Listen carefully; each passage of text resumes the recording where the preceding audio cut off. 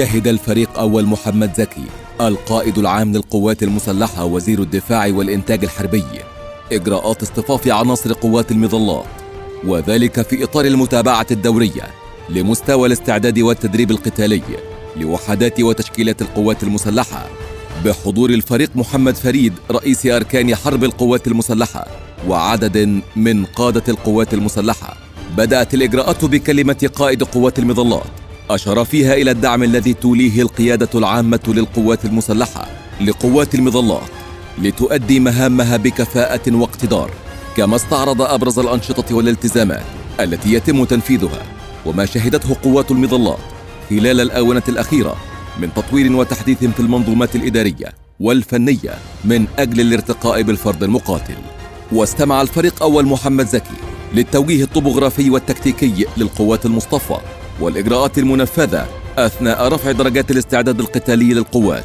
ونقل القائد العام لرجال المظلات تحيات وتقدير السيد الرئيس عبد الفتاح السيسي رئيس الجمهورية القائد الأعلى للقوات المسلحة لما يبذلونه من جهد وعرق من أجل رفعة شأن الوطن وحماية ترابه المقدس.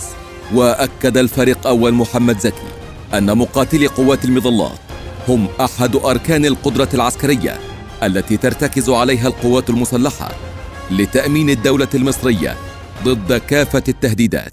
وقام الفريق أول محمد زكي بالمرور على القوات المصطفى للاطمئنان على مدى جاهزيتها وقدرتها على تنفيذ كافة المهام التي توكل إليها والوقوف على مستوى الكفاءة الفنية والقتالية للأسلحة والمعدات. كما شاهد القائد العام عددا من الأنشطة الجوية لمقاتلي المظلات باستخدام معدة الدلتا.